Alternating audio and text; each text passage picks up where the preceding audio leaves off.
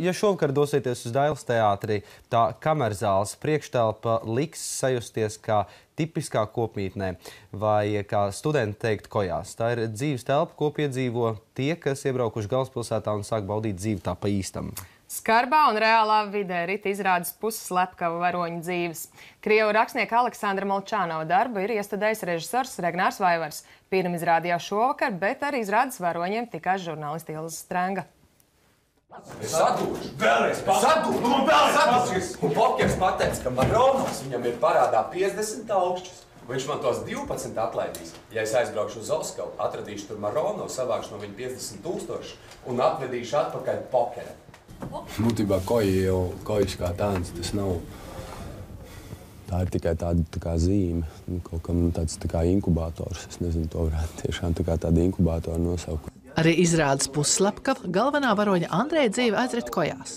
Studentu kojās dzīvo arī tie, kuri no augstskolas sen izmesti. Viņi filigranti pakļauj jaunākos, izmet kādu provokāciju un jauniņais ļaujas. Arī Andrejs ļaujas Alfa tēviņam pokeram, jo viņš ir lohs.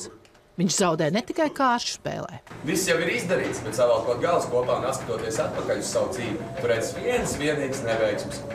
Tāds dzīves ceļš. Viņi ir provokātori. Nākamās neveiksmes. Bet uh, viņa nevis čaļus provocē, bet uh, ka viņi nonāk kaut kādā situācijā, tad uh, viņa piedāvā tā kā divus risinājumus. Vai nu darīsim tā, vai darīsim šitā. Izvēle ir tava, bet piedāvā Oksana.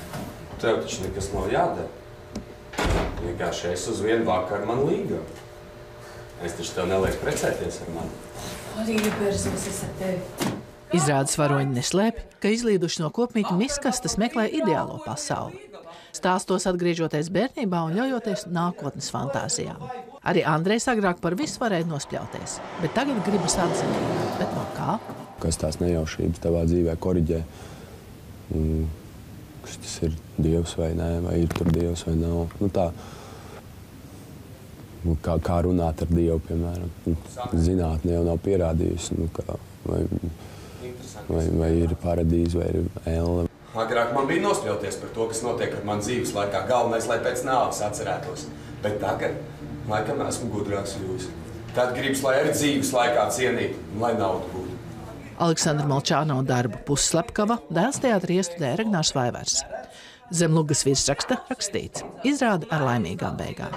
Viss šī izrāde ir par to, ka viņi īsti nesniedz konkrētas atbildes. Viņi uzdod ļoti konkrēts jautājumus.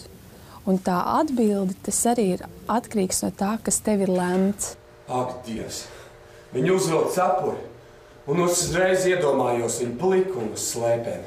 Ilza Strēnga, Nikita Korņevs, Latvijas televīzija.